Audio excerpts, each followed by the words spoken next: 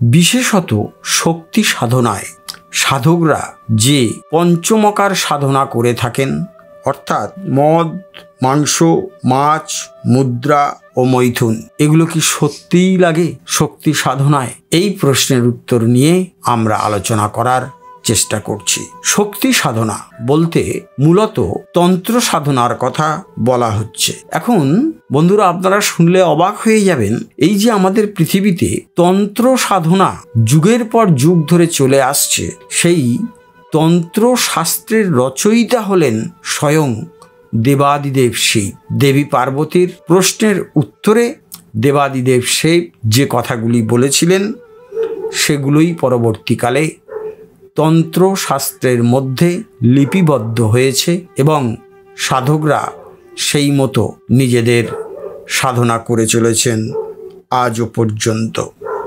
কিন্তু প্রশ্ন হলো মাছ, মাংস, মদ, মৈথুন দিয়ে কি কোনো দেবদেবীর আরাধনা করতে হয় সত্যি? সেটি কি শাস্ত্রসম্মত? যদিও তন্ত্রে দেবাদিদেব শিব পঞ্চমকার সাধনার কথা উল্লেখ করেছেন। এই পঞ্চময়ের মধ্যে পড়ে মদ্য, অর্থাৎ মদ, মাংস, মৎস্য, অর্থাৎ মাছ, মুদ্রা ও মৈথুন। তবে যে কোনো অল্প অভিজ্ঞ বা অনভিজ্ঞ ব্যক্তি এই কটির নাম শুনলে একটু হলেও ভিতরে ভিতরে সংকোচ বোধ করেন। ঈশ্বরের উপাসনায় এসব আবার কি? এই রকম তাদের মনোভাব হয়। কিন্তু আজ যে সূক্ষ্ম তত্ত্ব রয়েছে এই পঞ্চমকার সাধনার মধ্যে আমরা সে নিয়ে আলোচনা করব। সেটি কি? সেটি হচ্ছে প্রথম ম, অর্থাৎ মদ্য। এই মত সম্পর্কে শিব বলছেন, হে বরাননে পার্বতী, সাধক যখন গাঢ় ধ্যানে অথবা সমাধি অবস্থায় অবস্থান করে চিত্তার্পিতের ন্যায় তার অবস্থা হয়।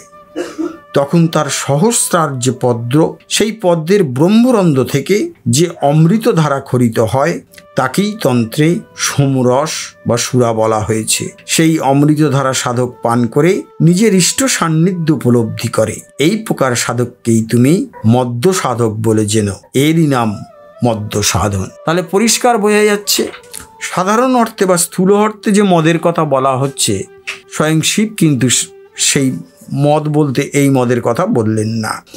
এবারে দ্বিতীয় ম হচ্ছে মাংস। মাংস সম্পর্কে স্বয়ং শিব বলছেন, হে রসনাপ্রিয় মহাদেবী, মা শব্দের নামান্তর হলো রসনা, অর্থাৎ জিহবা, এবং বাক্য সেই রসনা সম্ভূত। সুতরাং ব্যক্তি সতত বাক্য ভক্ষণ করে।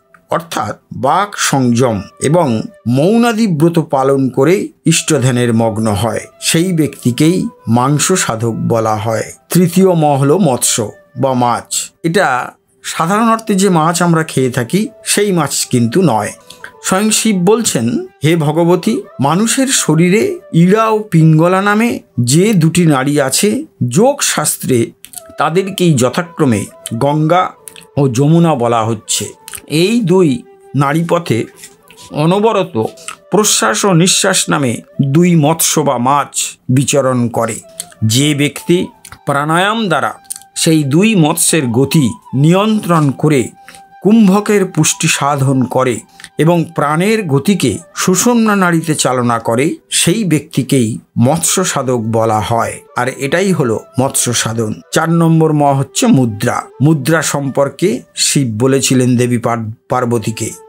হে দেবেশী, মনুষ্য শিরস্থিত, অর্থাৎ মাথার একেবারে মধ্য স্থানে সহস্রদল পদ্মে মুদ্রিত কর্ণিকার অভ্যন্তরে শুদ্ধ পারদ শিবলিঙ্গ তুল্য আত্মার অবস্থিতি। যদিও এই শিবলিঙ্গের তেজ কোটি সূর্যের সমান, কিন্তু কোটি চন্দ্রের কিরণের মতো তা সুশীতল।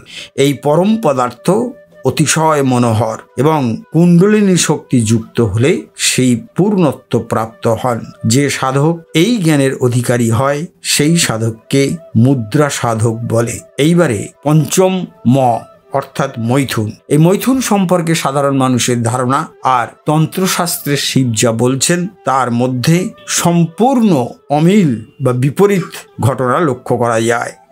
মৈথুন সম্পর্কে স্বয়ং শিব বলছেন, হে ভগবতী, মৈথুন অতি পরম তত্ত্ব এই মৈথুন তত্ত্বের ওপরেই সৃষ্টি স্থিতি ও সংহার নির্ভর করে। মৈথিনী সাধনার মাধ্যমে সাধকের অতুল সিদ্ধি সহিত সুদুর্লভ ব্রহ্মজ্ঞান লাভ হয়। সেই মৈথুন কীরকম প্রত্যেক মানুষের আধার পদ্মস্থিত কুলকুণ্ডলিনী শক্তিকে সহস্যার পদ্মের পরম শিবের সঙ্গে মিলন ঘটাতে হয়। যে সাধক এই কুণ্ডলিনী শক্তিকে ষটচক্র ভেদ করিয়ে পরম শিবের সঙ্গে মিলন করাতে সক্ষম হন, তাকেই মৈথুন সাধক বলে। আর এটাই হলো মৈথুন সাধন। স্থূল মৈথুন, এবারে শিব বলছেন, স্থূল মৈথুনে যেমন আলিঙ্গন, চুম্বন, শীতকার, অনুলেপ, রমন, ও রেতৎসর্গ এই ছয়টি অঙ্গ থাকে, তেমন এই সূক্ষ্ম মৈথুনেও ছয়টি বিভাগ রয়েছে। হে আমার প্রাণাধিক প্রিয় দেবী যোগ ক্রিয়া মাতৃকাদি, ঋষ্যাদি ও তত্ত্বাদিনাশের নামই হলো আলিঙ্গন, আর ইষ্টধ্যানের নাম হলো চুম্বন। ইষ্ট আবাহনের নাম হলো শীতকার। ইষ্টের উদ্দেশ্যে নিবেদিত, নৈবেদ্য হলো অনুলিপন, এবং জপ হলো রমণের নামান্তর, আর দক্ষিণা দান হলো রেতপাতের নামান্তর। এই গুজ্জাতি গুজ্জ তত্ত্ব তুমি সর্বদা গোপনে রেখো, হে দেবী। হ্যাঁ বন্ধুরা, আশা করি আজকের আলোচনা আপনাদের খুবই ভালো লেগেছে। আর যদি ভালো লেগে থাকে তাহলে প্রতিদিনের মতো লাইক শেয়ার ও কমেন্টস করবেন। আর যেমন ভালো ভালো প্রশ্ন পাঠাচ্ছেন, তেমন অবশ্যই ভালো ভালো প্রশ্ন পাঠাতে থাকুন। আমরা সেই সব প্রশ্নের উত্তর অবশ্যই দেওয়ার চেষ্টা করব। বিদায় নেওয়ার আগে আর একটি অনুরোধ রাখছি, সেটি হলো, যারা এখনও আমাদের এই চ্যানেলটি সাবস্ক্রাইব করেননি বা করে উঠতে পারেননি, তারা অবশ্যই আমাদের চ্যানেলটি সাবস্ক্রাইব করে আমাদের পাশে থাকবেন। সকলে খুব ভালো থাকুন, আনন্দে থাকুন, নমস্কার, ধন্যবাদ।